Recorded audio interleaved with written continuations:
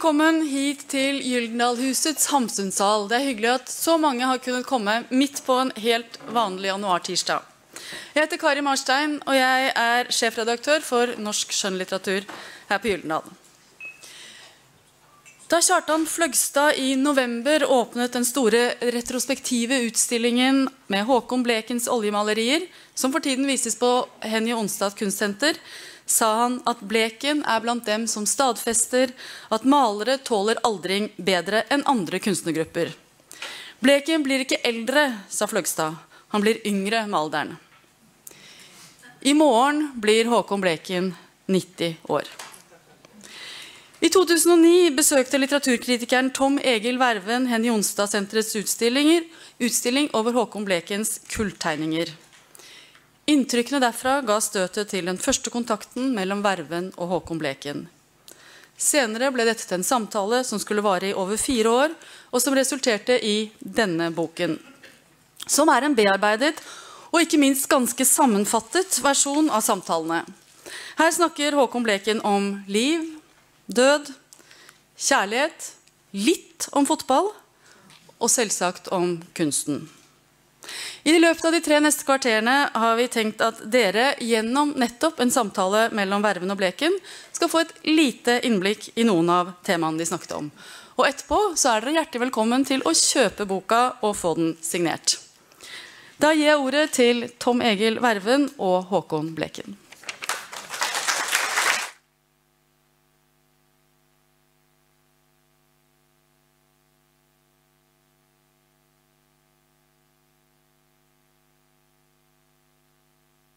Husker. Er den på? Ja. ja. Tittelen på denne boka har hentet eh, noen ord fra en aforisme som du skrev, Håkon Bleken, som lyder sånn.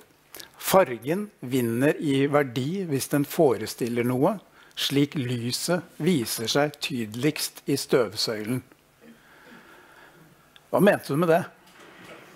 Nei, jeg mente, jeg mente, det som jeg har sett i, faktisk i, hos en maler som heter Wilhelm Hammersjø, dansk maler, som maler øh, nakne rom uten noe særlig ja, med bord og stoler. Eh, til nød kanskje et menneske her og der. Meget forenklet. Og han har av og til en sånn støvsøyle i, i, i rommet hvor man ser lyset tydeligst. og da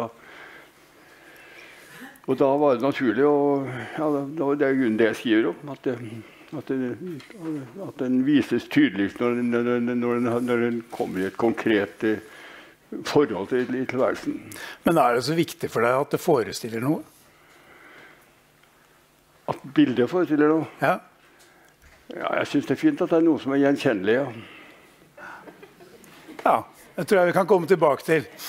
Eh, siden vi nå er i et hus hvor man produserer bøker, og, og mange her produserer jo faktisk bøker også, eh, så tenkte jeg at vi kunne gjøre et tankeeksperiment som egentlig ikke har så mye med boka å gjøre. Boka kan jo folk lese sjøl. Eh, hvis vi tenker oss at hele verket ditt, sånn som det nå er utstilt på Høvikodden f.eks. med oljemaleriene, at det er en roman. Hvordan ville du beskrive den romanen? Det syns jeg var et utrolig vanskelig spørsmål. Ja, men, ja, men jeg, jeg, har forberedt meg litt, så altså jeg kan hjelpe deg litt. Ja, ja. Og så kan, så kan, du av, kan, du bare avbryte meg hvis du syns det går eh, galt av sted. Ja, Ok. Romanen begynner med et selvportrett i Valkendorfs gate, som du ser foran deg her. Ja, sånn sett, ja. Det er fra slutten av tenårene. Altså, det er en jeg-roman, kan vi si. da. En selvbiografisk roman, til dels. Uh, denne, dette vinduet som vi ser her, da, det, det, det, der ser vi utover øya i Trondheim. Og etter at romanen har begynt der, så fortsetter den med ja, en oversikt over noen mørke hustak, kan man si. Oversikt over? Mørke hustak. Ja. Uh, og da har du flyttet deg tror jeg, til, Balken, nei, til uh, Vollabakken. Ja. Som er noen hundre meter lenger øst i Trondheim. Ja. og Da ser man ned på hustak, og man ser uh, Nidelva, man ser Nidarosdomen. En god del kjente elementer i Håkon Blekens bilder. Men deretter så går handlingen inn i rom. Og vi ser figurer rundt et bord, f.eks. Og vi ser flere Det er flere sånne bilder i denne romanen da, av, eh, av en person som til dels er inne, til dels er utenfor bildet. Akkurat som i det bildet som vi ser her, i og for seg, men mye mer abstrahert. Ja, ja. Og disse hustakene er jo kubisme. Men det er kubisme som, som realisme, vil jeg si. Jo, men altså, det du skildrer, er jo ikke noen roman. akkurat. Du beskriver bare noen bilder.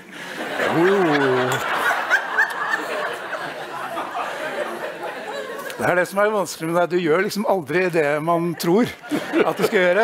Jeg, jeg skjønner ikke helt eh, hva det går ut på. Du skjønner ikke hva det går ut på. Jo, jo. Men altså, hvis vi fortsetter på denne romanen, da, så, så mener jeg at eh, det som skjer da, er at eh, romanen skifter tek fortellerteknikk. Til å begynne med så er, det, så er det ganske realistisk bilde som her, og så får vi disse kubistiske bildene. Og så begynner det å myldre. Så begynner det med kollasjer. Eh, altså Sette sammen masse forskjellige fragmenter. Bilder hulter til bulter som er malt oppå. Ja, vi har vel kanskje eksempel på det her.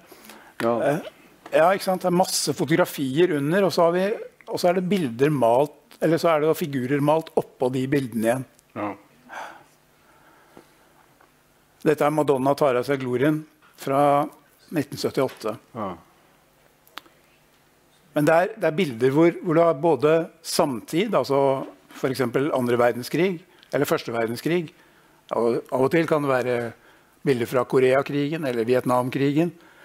Men samtidig så har vi disse mer arkaiske tingene, som at ja, Madonnaen, da. Som egentlig går tilbake til jomfru Maria. Og her har vi jo tre, tre sammenbøyde figurer også til venstre. Som jeg tenker meg er hellige tre konger. Var det ikke hellige tre kongers-dag her i, Jo, det er jo blanding av de hellige tre konger og så- så soldater som jeg tenkte på. Det er helt at Man tenker på mye som altså da forbinder seg i den forstand at du assosierer jo mens du maler. Og, Ja. og dessuten så er jo prosessen eh, Det er jo den som egentlig bestemmer hvordan, eh, hva, det, hva det skal bli.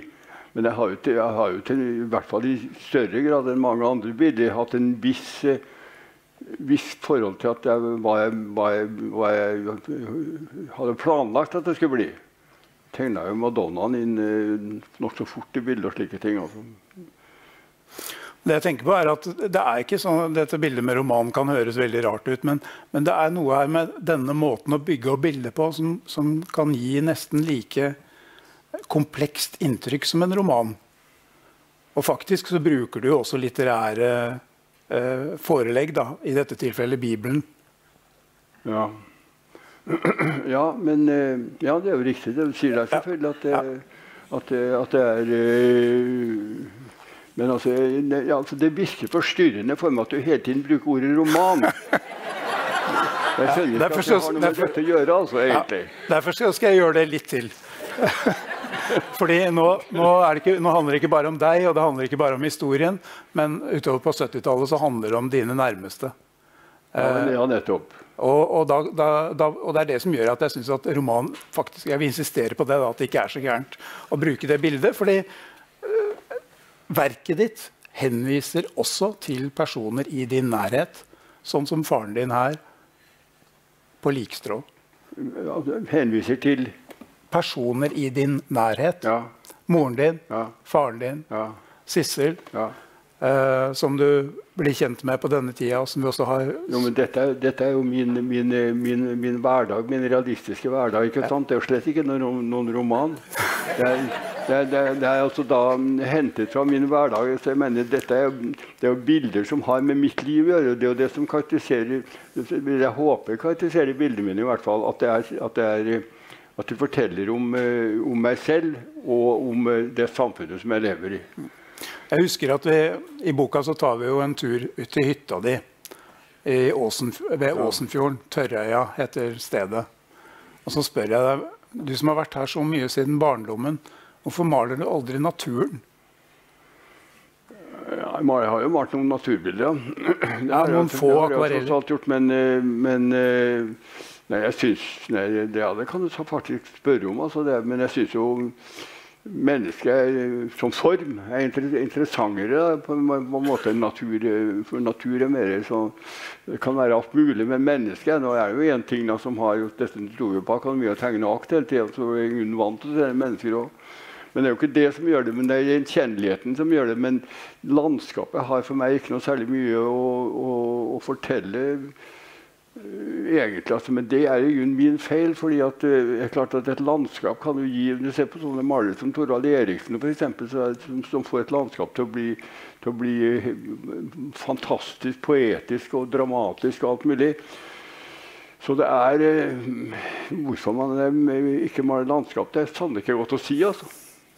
Jeg vil jo si at du maler et landskap, da, for å motsier meg selv, og det er jo rett og slett Trondheim. Ja. Altså, ja, Det er jo riktig å si. Trondheim er representert i utrolig mange av dine bilder. Ja, ja. Det er klart. Men det er, men det er jo mer, mer, min virkelighet enn det er landskap, altså. Jo, jo. Men altså en, en, en uh, horisontlinje av en by er også, er også, et landskap, vil jeg si. Ja, ja. Det er begge deler. Ja.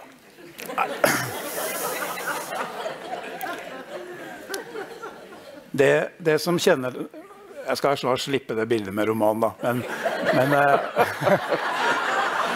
men det er jo det er jo det er jo sånn at du faktisk henviser til romaner også. altså 'Dr. Faustus' av Thomas Mann f.eks.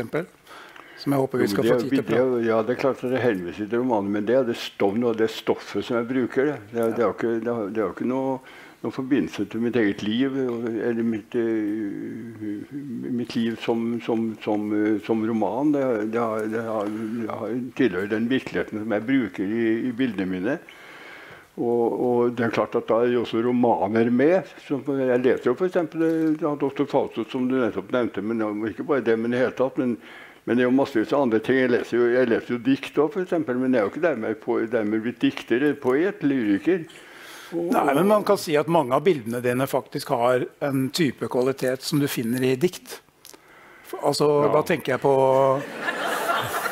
Er ikke enig i det heller? Hva? Er du ikke enig i det heller? Jeg reagerte ikke noe på det. okay. Publikum. Et overømfintlig publikum, vil jeg si. Ja, det, da, da blir smitt, Nei, men vi har jo altså, Hele utstillingen som nå vises på, på Henny Onsdag kunstsenter, og som skal videre til Trondheim, ja. eh, den har jo tittelen 'Do not go gentle'. Ja. Som vi på norsk kunne si 'trå ikke varsomt'. Er det til deg sjøl du sier det, da? Ja, altså, nei, jeg tviler først og fremst fordi at jeg, jeg, jeg er mer betatt av diktet til Dylan Thomas.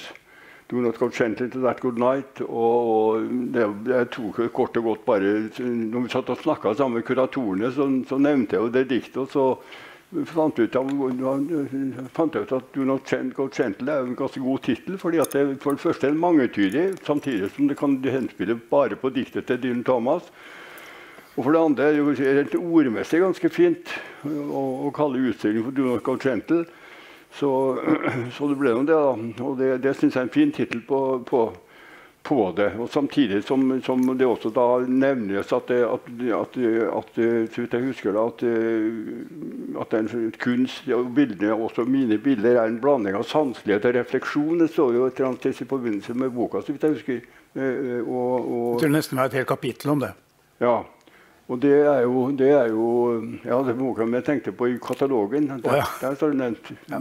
Ikke som et kapittel, men litt, litt, mindre. Men i hvert fall står det nevnt, og det utdyper jo Jonas not go. Mm. Ja, og det, I den perioden hvor du og jeg har snakket sammen, så er det jo to altså Det er flere seriebilder, mange seriebilder faktisk bare fra 2015 til nå. Og mange av de kan man da se både på Høvikodden og på åpningen på Galleri Brandstrup i kveld. Eh, men jeg tenker på en serie der som har med akkurat dette å gjøre, og det er eh, den du kaller 'Dødens ø'. Ja. Og hvor eh, et av de bildene som vi har med her, nemlig Utøya-bildet, er på en måte løst forbundet med den serien, kan man si. Hvorfor er det en del av dette trå ikke varsomt? Altså rett og slett å male dødens ø? Nei det, det, nei, det, har ingenting med det å gjøre. Det, er, det har ingenting med det Tittelen på Do Not Go Gentle det er kort og godt altså henvisning til Dylan Thomas' dikt. Do Not Go Gentle to That Good Night, og Det er først og fremst et, et dikt om døden og mot døden. Så det har absolutt ingenting med, med, med, motiver eller noe som helst i bildet men å gjøre. Men det er en drivkraft, en inspirasjonskilde, som jeg transformerer og bruker i bildene mine. Men det er på ingen måte noen referanser billedlig, realistisk eller noe som helst i forhold til, eh, til dikt eller romaner. Jeg maler f.eks. ikke bilder av Adrian Leviken for jeg har lest Dr. Faustos. Og helst maler jeg ikke Adrian Leviken i hele tatt, men Adrian Leviken og Dr. Faustos har inspirert meg til å lage bilder. slik at det går gjennom en transformasjon før jeg greier å lage et bilde av det. Og, og, og det er jo det som er, som er forskjellen på en illustratør som egentlig bare bruker stoffet i romanen som, som, som basis for illustrasjoner, og en som er blitt påvirket av boken, drevet eh, av boka til å, til å male. Det er en ganske stor forskjell. det er det. Jeg tenker på en annen stor serie som du har laget over Ibsens stykke 'Hedda Gabler'. Ja. Um, hva var det som skjedde i den perioden? Som, for du begynte jo faktisk å arbeide på en annen måte. Én ting er at du, du har en enormt stor produksjon av litografier. Og den startet på en måte med dette oppdraget. Hva, hva er det ved Hedda Gabler som fascinerer deg så voldsomt at du har fortsatt å lage bilder av, over det stykket helt fram til i dag? Hedda Gabler, Hedda Gabler-skikkelsen er jo en, er jo en uh, interessant type. Da, som, uh, som, som, Ibsen sier et eller annet om at Hedda Gabler er en type som vil vite alt, men som, men som uh, på en måte ikke tåler det. Hun er jo en sånn typisk sånn hva skal jeg si for noen estetisk uh, voldsomt estetisk idiosynkrasi over henne. Og, og, og, hun er jo en sånn typisk moderne menneske som ikke, som ikke, greier å velge, og som uh, famler, og som, og som altså er, er, er, opptatt av uh, Livredd for skandaler og slike ting. og, og hun, hun, er, både, både vil, vil, i hvert fall gjerne være lastefull med, og feig, men feig er hun i hvert fall. Og, og hun, er, hun, er, en interessant type, synes jeg, for hun har menneskelige egenskaper som jeg, jeg syns det var interessant å arbeide med og forsøke å få billedliggjort i, i litografiene.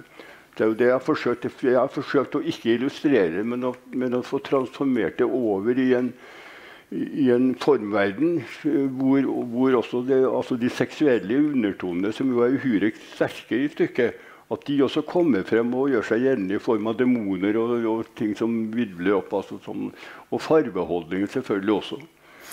Merete Morken Andersen, eh, som nå har skrevet en kollasjbiografi om Amalie Skram. Altså, hun kan virke som hun er litt inspirert av din måte å jobbe på. Ja, jeg har fått en bok av tilsendt fra henne. ja. Og hun skrev jo hovedfagsoppgaven sin om Hedda Gabler. Dvs. Si ikke om selve stykket, men om dine bilder. Ja. Og hun sier at du iscenesetter Hedda Gabler. Det er en ganske ja, fin måte ja, å si det på. Men Hedda Gabler blir jo iscenesatt hver gang hun blir oppført. Ja.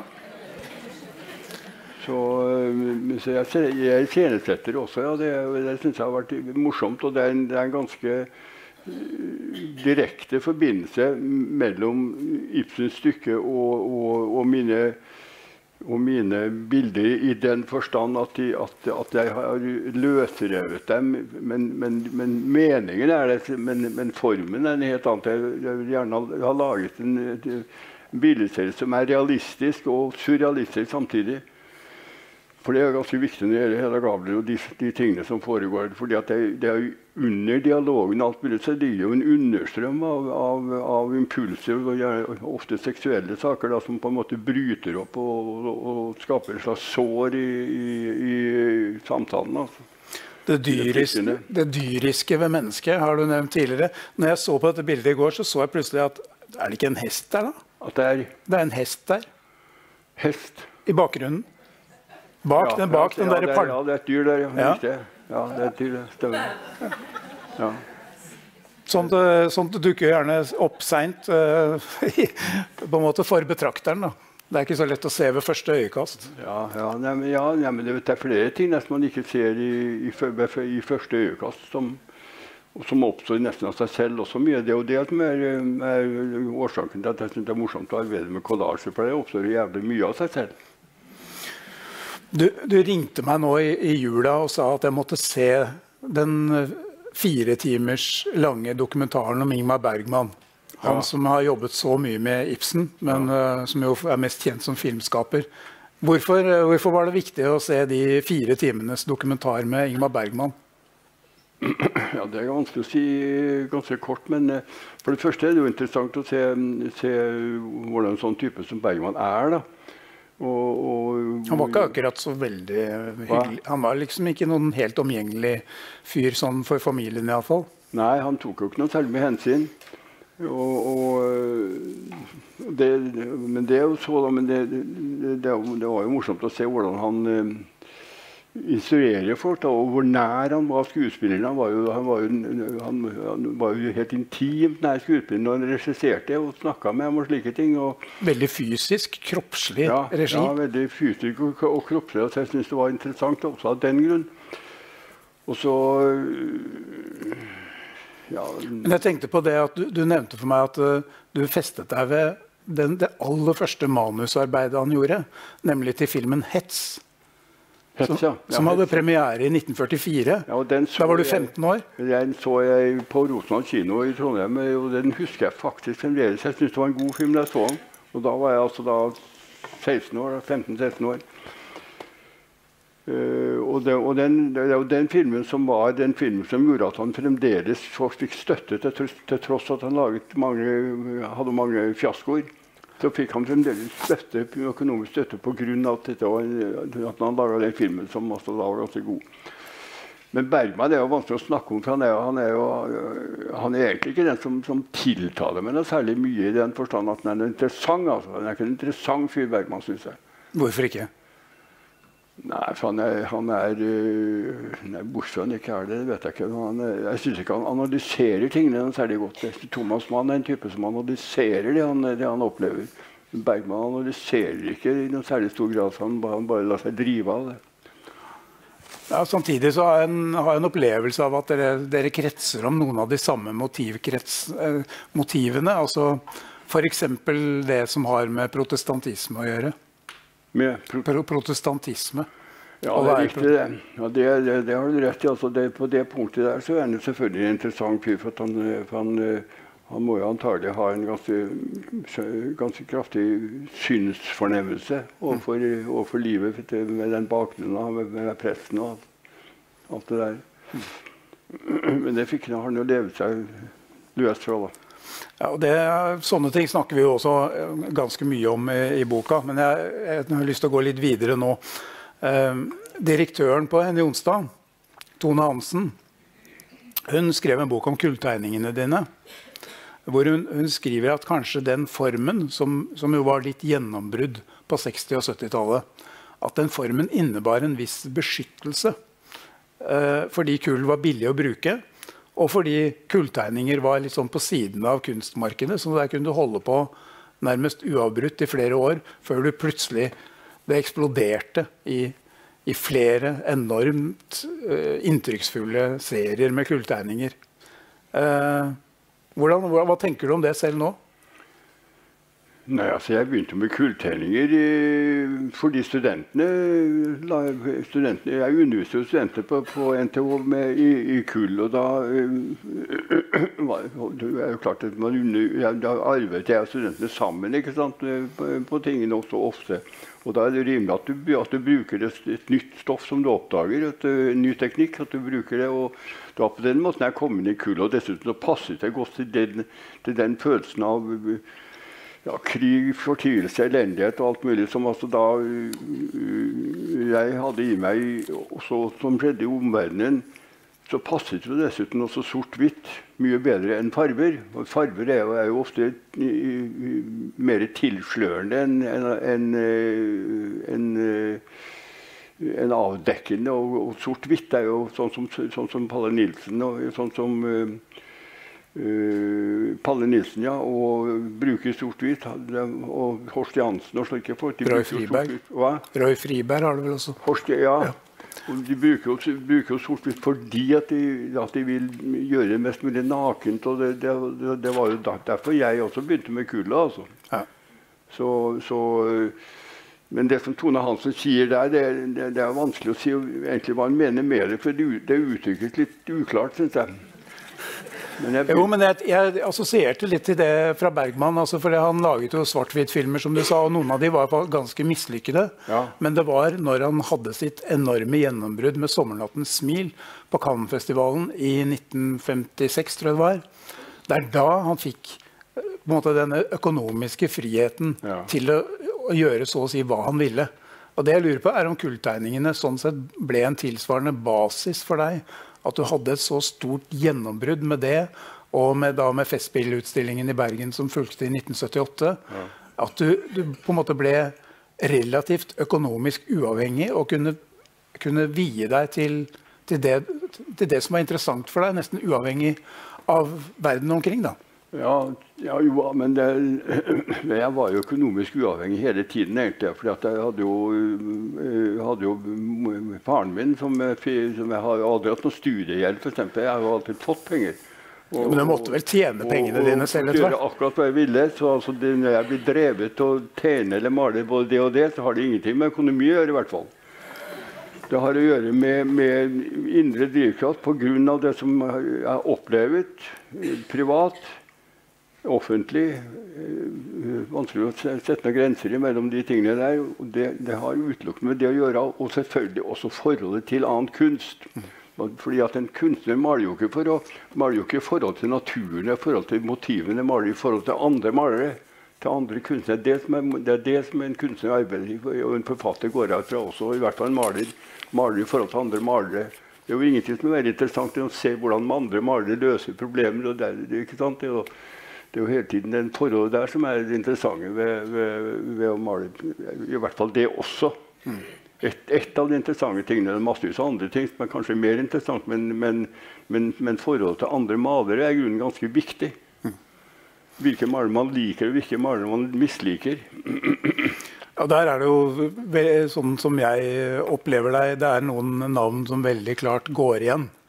Eh, en linje fra Picasso og Braque, ja. kubistene, ja. og til Francis Bacon. Ja, til Francis Bacon. Altså, Picasso er jo selvfølgelig den største. Han er jo, han er jo giganten. og en fantastisk, Men Picasso Braque er også strålende. Picasso, Braque og Bacon og P. Krogh. Man må ikke glemme P. Krogh, for han er også en fantastisk maler som, som også tiltaler meg umåtelig fordi han kan lage litterære ting. Han lager litterære ting, han løser litterære oppgaver på en helt overbevisende formal måte. Se på rådhusfreskene hans, f.eks. Veldig morsomt gjort. Det kommer jo utstilling med P. Krogh nå, nå, om noen uker ja. her i Oslo. Ja, det, det er kjempeflott. Så Nei, P. Krohg har vært virkelig, virkelig inspirator for meg. Men selvfølgelig Bacon og, og, og, Picasso er kanskje de som jeg har vært mest uh, opptatt av som, som, som uttrykksmessig. Altså i, i, tiden så er jo, er jo de fabelaktige. Og sånn som jeg har forstått deg, så ville du nesten ikke turt å, å, å hva skal vi si, stille ut kulltegninger på den måten du gjorde, hvis det ikke hadde vært for Bacon?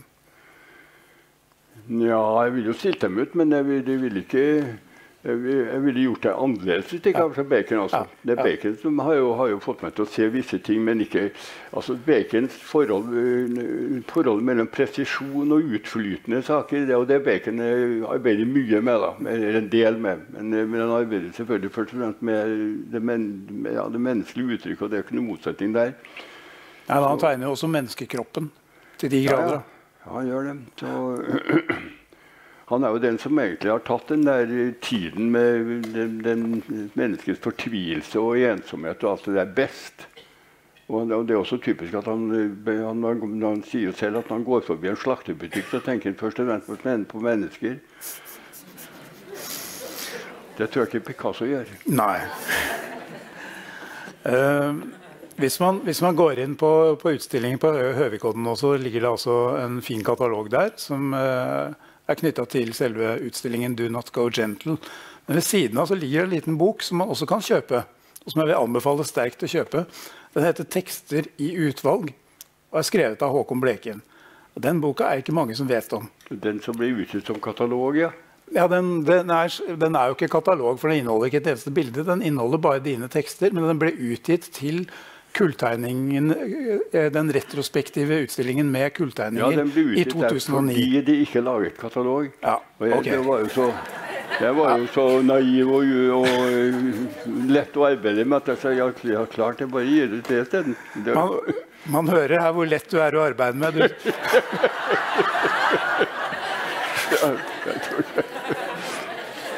Nei, det jeg vil, det jeg vil fram til er at i, i, denne boka, som jeg vil anbefale å kjøpe så lenge det, den finnes igjen, så den kom ut i 2009, så skriver du eh, bl.a. Eh, om eh, Strindberg. Om påsk. Om påske. Ja. Det stykket som heter 'Påske'. Eh, I det stykket så er det en av personene som faller. Og Eleonora, en av de andre personene i stykket, sier da 'Fall, men fall så du kan reise deg igjen'. Ja. Og du skriver videre at den setningen inneholder en dyp psykologisk innsikt. Jeg siterer. Vi faller alle. Spørsmålet er hvordan vi forholder oss til det. Viljen til redelighet. Selv i mørket, forlatt av alt og alle, presset av skyld og selvforakt. Ja, nettopp i dette mørket ligger jegets fødsel. Forutsetningene for det åpne, skapende mennesket. Det var ganske godt sagt, det. Ja, det er, det er jeg faktisk enig med deg i, da. For en gangs skyld. Uh, og jeg tenker Det er ikke helt tilfeldig at det, dette skriver du i 1973. altså Det er akkurat når du på en måte er ferdig med kulltegningsperioden og begynner å bevege deg inn i andre typer landskaper. Ja. Uh, og det, dette mørket som en forutsetning for lys er en, virkelig en sånn dyp hemmelighet som jeg mener går gjennom romanen, unnskyld, verket ditt. Og som formuleres på mange forskjellige måter. altså Helt fra de eldste hebraiske og, og greske tekstene i vår kultur. altså Første Mosebok begynner jo med 'og det ble lys'. Altså, det var mørkt. Uh, og jeg tenker på en roman som du har nevnt for meg at du leste når du var ca. 16 år, tror jeg. 'Brødrene Karamazov' ja. av Dostojevskij. Hvis ikke hvetekornet faller i jorden og dør, blir det bare det ene kornet. Men hvis det dør, bærer det rik frukt. Og denne motsetningen, altså liv og død, er jo en sånn enormt gjentagende figur i dine bilder. vil jeg si. Altså Plakaten for utstillingen som er på Høvikodden og heter Vår, og der har du en dødningeskalle midt i, midt i, altså en dødningeskalle i et vårbilde. Ja, det er klart at, at død, det, det, liv og død er jo helt vesentlig. Altså Døden er jo helt vesentlig ting i, i livet. Det er jo helt opplagt. Så, uh, så, så, og jeg, også selvfølgelig i mine bilder. Men jeg syns at det, dette med fallet som du snakker om blant annet, så Jeg syns det er nokså viktig at, at, man er i stand til å se hva som foregår på en selv. At man er i stand til å erkjenne hva, hva, hva, man har, hva, man har, foretatt, og at man kan analysere seg selv. Akkurat som Francis Bacon analyserer bildene sine. Han, han maler før, men han, han er temmelig skarp når det gjelder det å analysere bildene sine etterpå. og Hvorfor han gjør det og det og det. Eh, F.eks. det å hive maling på lerret og slike ting som, for, for derved å skape tilfeldigheter som han kan gjøre noe ut av. ikke sant, og alt det der som, som egentlig er, er morsomt, veldig morsomt som, som, som prosess betraktet, men også ganske viktig som filosofi, filosofi nesten. Altså skape kaos for å, for å få anledning til å skape orden. Mm. Og Det er jo det som ligger som, som bakgrunn bak mine kollasjearbeider. For eksempel, altså, det, er jo en, det er jo en direkte verden av kaos som altså da kan, kan føre til visse, visse ordningsmønstre og slike ting. La oss se litt nærmere på det. Altså, det, det, aller nyeste bildet som, som er utstilt på Høvikodden, heter 'Før deportasjonen'. Ja. Og det, jeg syns det bildet sier ganske mye om deg som uh, kunstner innenfor dette formatet. Uh, for dette malte du altså Det ble ferdig i vår eller i sommer? Ja, det ble ferdig i, i sommer, ja. I sommer. Ja. Kanskje, ja. Jo. Hvordan vil du selv beskrive det? Ja, altså Jeg begynner jo på den måten at det, det, det legger, jeg legger en kollasj, klistrer opp bildene, og det gjør jeg. Det, det, er ikke nødvendigvis selv. Det kan jeg godt, godt en annen gjøre. Det er avisutklipp? Hulter til bulter? Ja. Du klipper opp tida, så å si? Jeg klipper opp tida, ja. Det som verden ikke har, det som verden har etterlatt, tar jeg meg av. Avfallet? Klipper opp resten. Helst fra politikken. For politikken er en avis som glimrer seg som egner seg glimrende til kollasj. Men altså, jeg klipper opp, jeg klipper opp øh, og, og klistrer opp, men, men, ikke nødvendigvis selv. Et, et annet menneske kan godt gjøre det. Og de, de aller siste bildene mine så, har jeg et annet menneske som klistrer opp det for dem. Til, og jeg sier til vedkommende klister opp det så tilfeldig som mulig. Så klistrer vedkommende opp det, og det bildet der er f.eks. i en 50 ganger 1,70. Uh, når de er da er klistret opp, så setter jeg meg og ser på dem. For det som interesserer meg, er det som har oppstått av former i, i tilfeldighetene. Og da kan det hende at det er former som, som uh, det kan bli noe gjenkjennelig av. F.eks. den uh, Det er vanskelig for meg å peke på det. og ja, du kan beskrive det. Kippaen? Ja, den, den, dame, den, dama som sitter til venstre Hun som ser opp? Hun som ser opp, Det, det, det er jo klippet ut, bortsett fra nesen Jeg har malt på antagelig. Men, men det var det som fikk meg til å assosiere en profil, i hvert fall. Og så var det vel kanskje lua på paterjøden som står bak henne som også var klippet ut, da, som jeg assosierte noe i forbindelse med det. Og Jeg hadde overhodet ikke tenkt å lage et bilde som hadde noe med jøder, deportasjon eller noe som helst gjøre, men de oppstod bare av seg selv fordi at det ene dro det andre med seg. Og den, den sorte, den mørke den mørke jenta der, som også Det er på en måte en slags familie der. altså Mor, far og, og piken og, og gutten bak. da. Gutten som roper? Ja, Gud jeg roper For meg er dette et fortvilt rop. Da, for, og, og, og, jenta hun er selvfølgelig forskrekket og springer. Det er oppbrudd fordi at de aner at de skal deporteres. Auschwitz setter jo bakgrunnen der. Men dette bildet er opptatt helt av formale grunner. Jeg har overhodet ikke tenkt å lage det motivet. Jeg har ikke tenkt på det i det hele tatt. Men jeg har selvfølgelig tenkt på deportasjonen massevis av ganger ellers ja. i livet. Bl.a. han som jeg gikk på skolen sammen med, og som ble, ble henta en dag og forsvant og aldri kom tilbake noe mer. Det er Leonard Isaksen, som ja, altså var 12-13 år, ja. og som gikk i klassen din. Det gjorde ikke noe inntrykk da, for da, da gjorde, gjorde, barn er jo ganske kalde og kyniske. Så ja, borte hvor er? Det er ingen som vet. Men etterpå så fikk jo forståelse av hvor, hvor han var, eller hvor han hadde vært. da. Men, men poenget for det, tingene er at dette er en ren, for, formell eller formal uh, fremgangsmåte som da fører til visse ting som jeg kjenner igjen, og som jeg kan da få noe ut av. Og Av og til kan det være, kan det være, det være ganske uttrykksfritt. Hvis vi går ned på Galleri Brandstrup nå, da er det et bilde der som, som heter 'Bendik Årolilja'. Og det er et, mener et, et, et, det syns jeg er om jeg skal kalle et bilde et mesterverk, så vil jeg si at det er et mesterverk. Og det er ikke mange av dem i min produksjon også, kanskje to eller tre. Men det bildet er, er, er veldig flott, altså. Fordi at det har hele, hele uh, legendens uh, ja, drama, smerte, patos og, og samtidig skjønnhet. Uh, men det har også oppstått absolutt av seg selv. Jeg har ikke tenkt å lage i det hele tatt, men det oppstår selvfølgelig fra meg på en eller annen måte. Det er et opplagt, det må det jo gjøre. Men det er ikke, det er ikke, det er ikke, det er ikke uttenkt. Jeg tenker på han Leonard Isaksen da, som gikk i klassen din, og som forsvant uten at du skjønte hvor han forsvant. Altså, han, han ble deportert med Donau. Um, ja. Han bodde altså 200 meter fra dere omtrent, på øya? Ja, han bodde lenger ned i gata. Ja. Og jeg tenker at det, Vi må nærme oss en slutt, men du har jo også noen andre bilder på, på Brandstrup som åpner i kveld. Og Det er tre bilder av Rita Ottervik ja. som er malt fordi hun 200-300 meter videre fra der hvor det, du og Leonard Isaksen bodde, ja, det det så så har hun eh, sammen med andre trondheimspolitikere bestemt at de skal bygge en svær eh, messe- og idrettshall som heter Trondheim Spektrum. Og nå, mener jeg, Håkon, nå er du 90 år. Nå kunne du på en måte malt Bendik og Årolilja og på en måte hatt det hyggelig.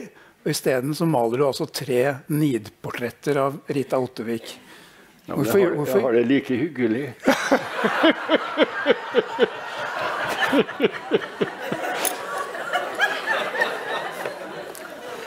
Ja, det er godt. Kanskje enda hyggeligere. Hvorfor det? Ja, Fordi jeg får uh, gitt uttrykk for min irritasjon. Og, og, For det første er det jo alltid, alltid hyggelig og, og, og, selvbekreftende å kunne få til en ting. Og, arbeide og få til noe. Det er selvfølgelig det er ikke hver gang det skjer, men når, man, når, det skjer, så er det morsomt at det skjer. Og Hvis det da samtidig også kan berøre et eller annet i samfunnet, kanskje også angripe noen som jeg syns har, eh, gjort noe gærent, som ved tilfellet der, så, så, det, så det, har du fått med en del ting, da. Ja. Jeg tror jeg sier takk for samtalen. De tre kvarterene er ute.